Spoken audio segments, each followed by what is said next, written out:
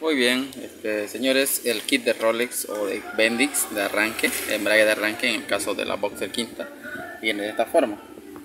Eh, eh, esto cuando está mal produce ruido o bien no agarra el arranque, ¿no? solo patina, gira nomás el motor de arranque y no agarra para que gire el motor.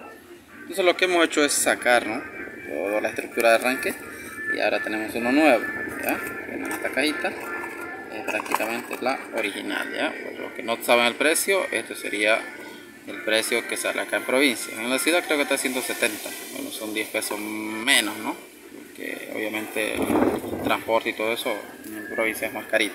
Ya muy aparte de eso les quiero mencionar la calidad de esta cosa de la quinta a comparación estos pequeños cilindritos eh, son más grandes de la cuarta. Y he visto que la cuarta es mucho mejor que esta cosa ya entonces siempre voy a apoyar a la cuarta ya que es un modelo que dura mucho más ya todo.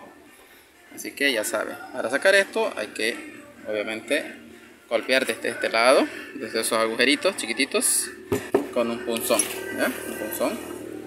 Y no es más. Y después entra presión. Si quieren usar prensa pueden usar prensa o si quieren una copa de este tamaño pueden usar también. Y se coloca eso ya yo previamente me he marcado acá esta flechita, ¿no? Lo he marcado y tiene que alinear con sus rayitas, ahí. Para que no haya ningún problema, ¿no? Ahí, esa flechita y lo he marcado también. Otra flechita me dice igual para que coincida. Así para que no haya ningún problema. Y ya está ahí. Y esto también hay que ver. Vamos a que reemplazar, también se ve un poco picado. Mm, pero me lo voy a jugar. Primero lo voy a cambiar con esto más y si que suena lo voy a tener que reemplazar porque esta pieza también es caro, ronda los 100 pesos y un poco más creo. Ya, entonces esto sería el problema y vamos a afrontarlo